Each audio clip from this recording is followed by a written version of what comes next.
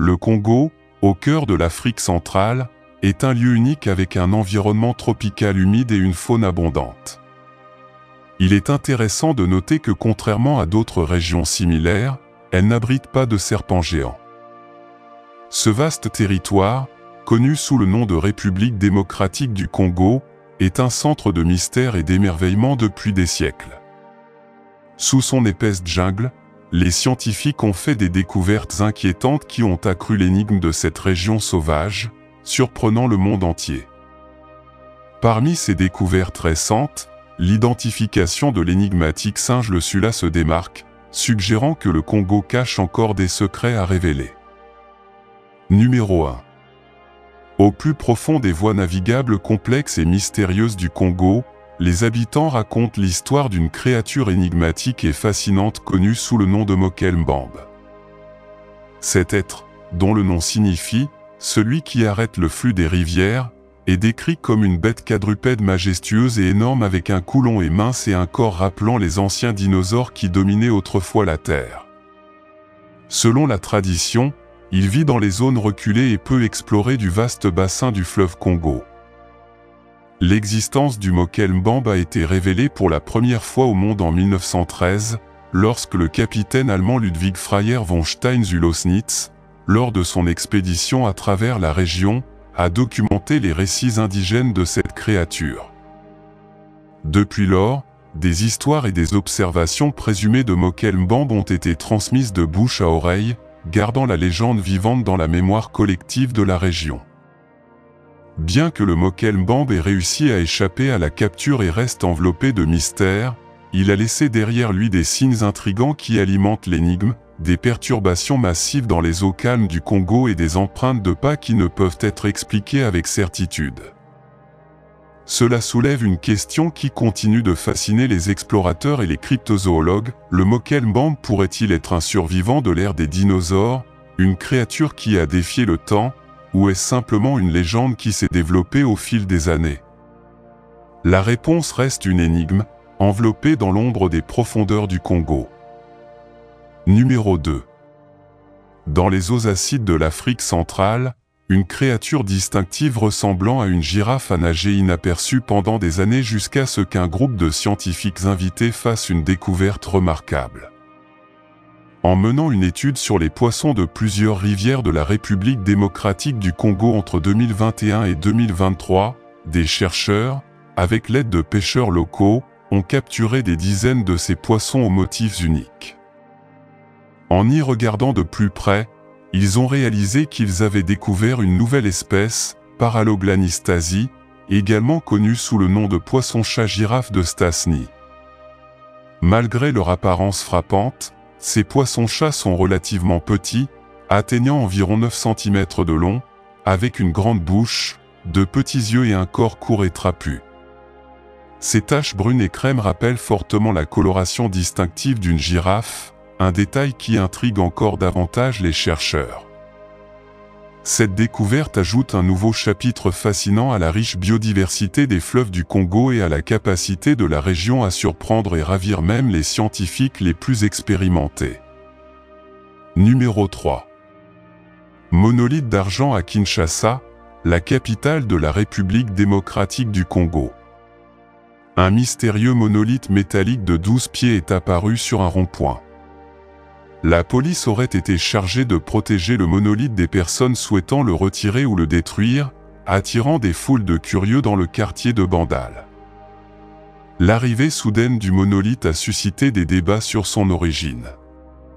Un autre monolithe mystérieux est apparu, cette fois dans notre propre cour du comté de San Luis Obispo, certains habitants l'associant à des symboles vus dans des documents des francs-maçons ou des Illuminati.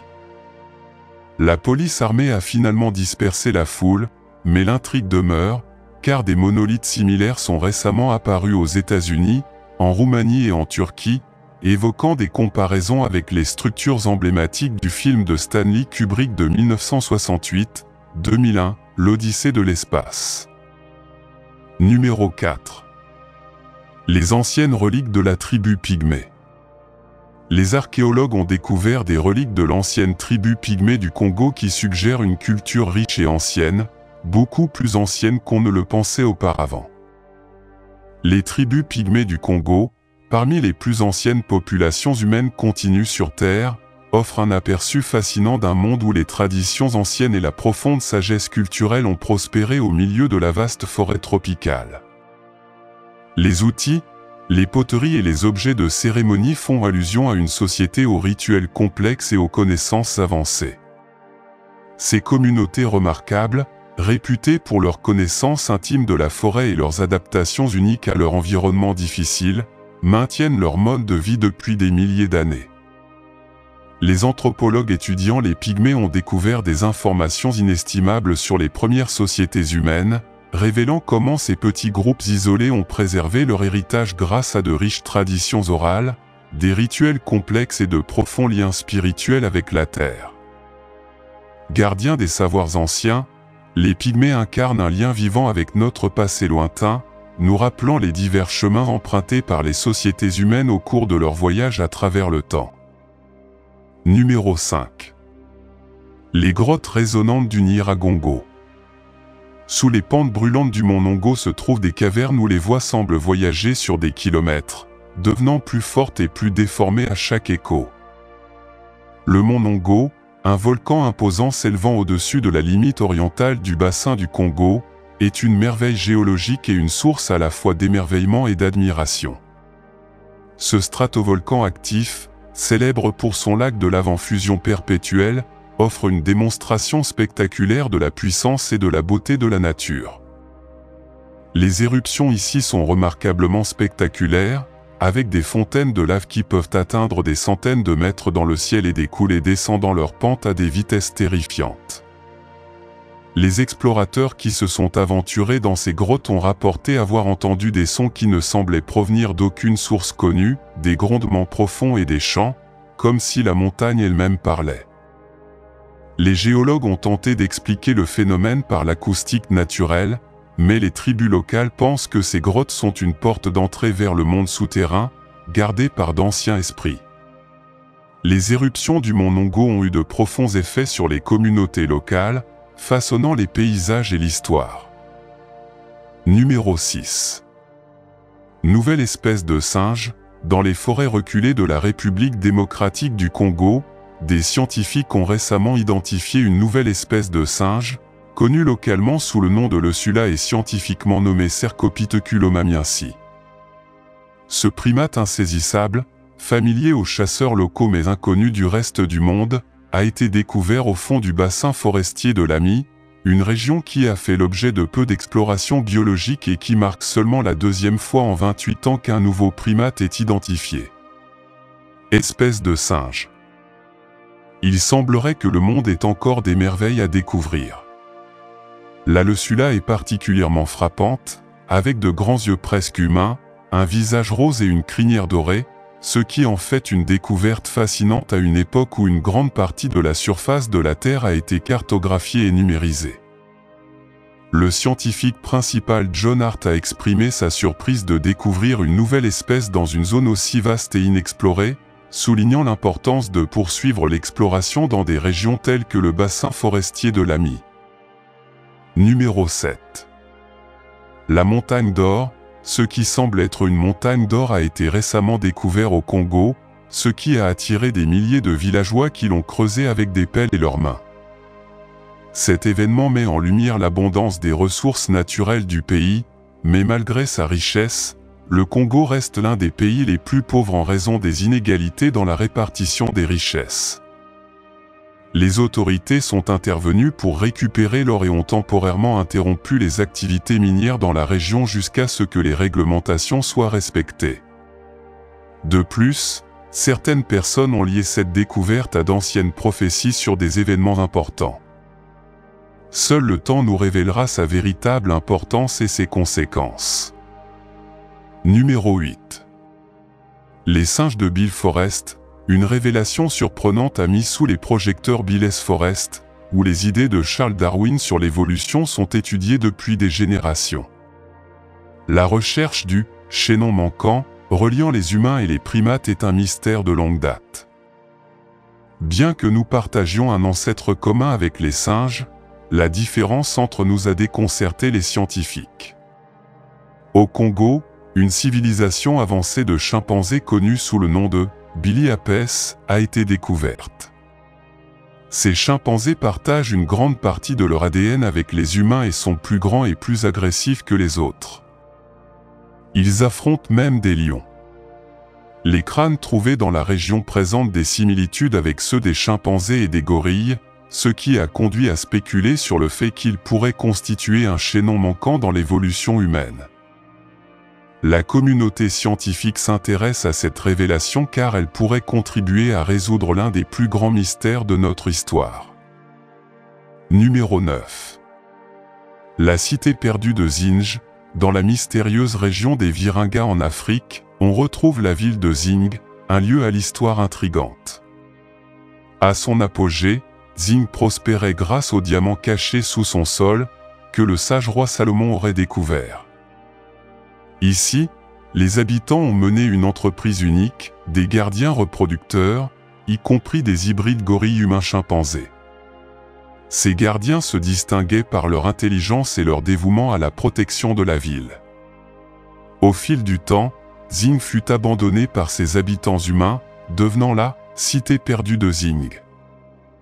L'histoire de Zing reste une énigme, démontrant la capacité humaine à créer des êtres extraordinaires et les merveilles de la nature.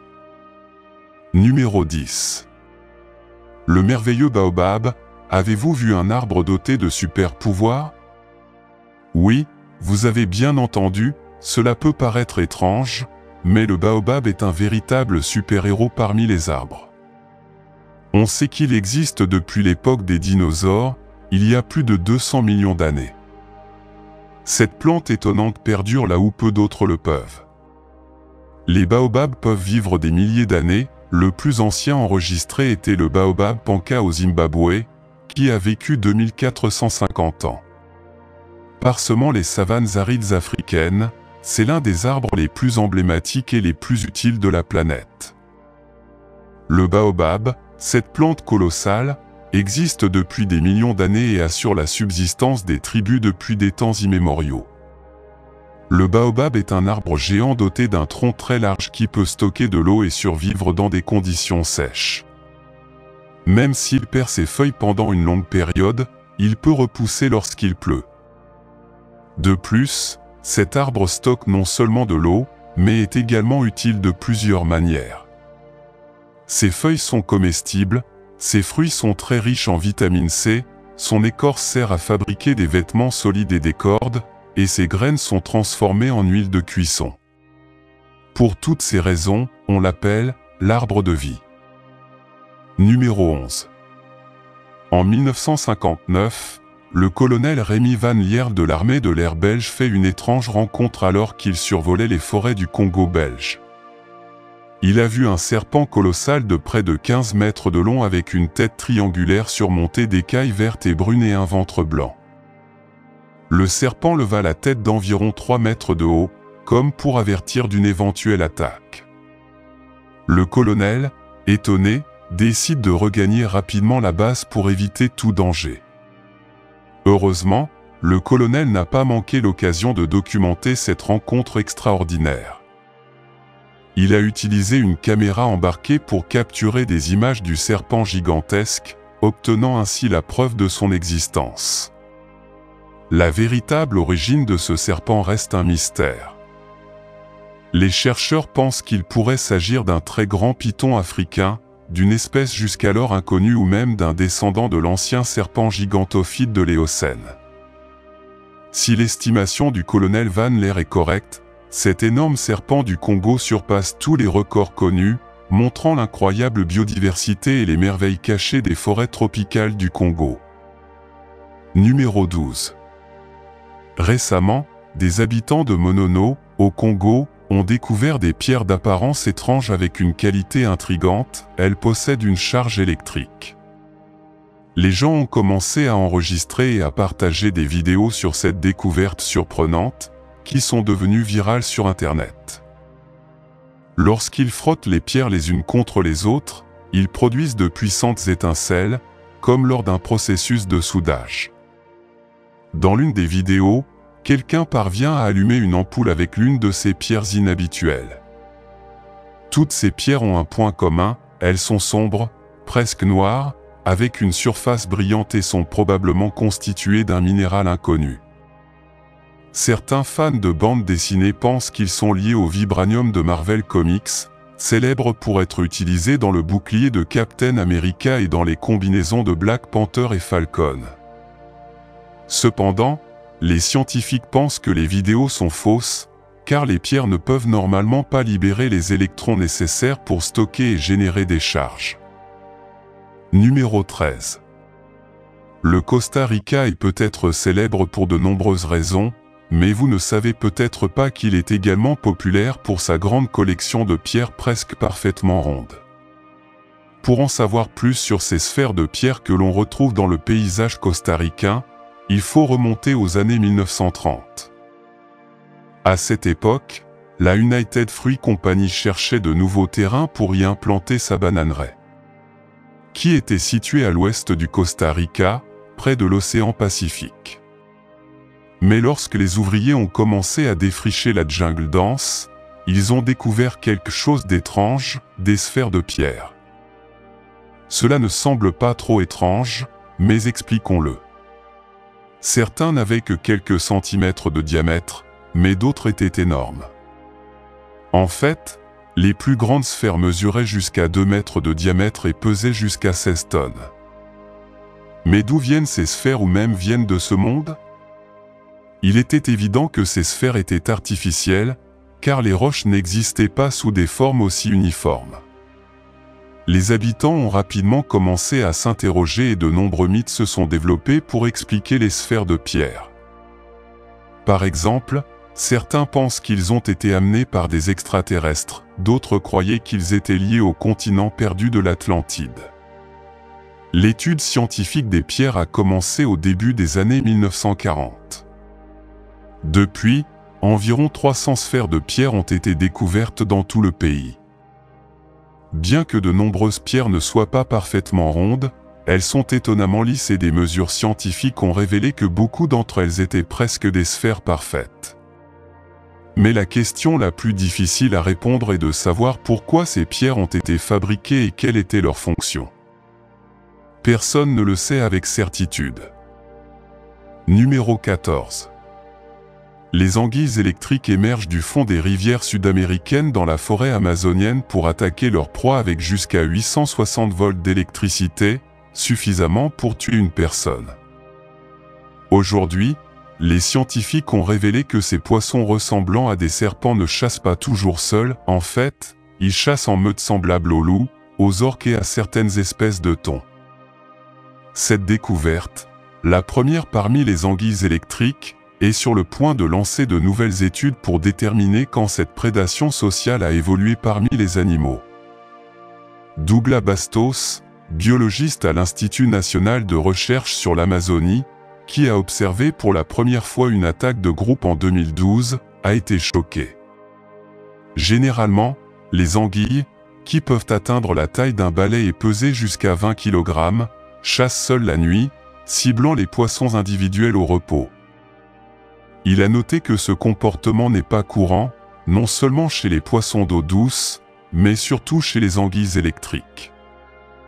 Bastos a observé l'attaque lors d'une expédition alors qu'elle recherchait des créatures marines en voie de disparition dans le nord du Brésil. Deux ans plus tard, il revient voir de plus près, campant seul au milieu de l'Amazonie, à cinq jours de bateau de la ville la plus proche, Tefé. Il a filmé des centaines d'anguilles électriques par groupe de 10 attaquants à plusieurs reprises de petits poissons tétras dans le fleuve Uriri, un affluent du fleuve Amazon au nord du Brésil. Cela a dû être tout un spectacle.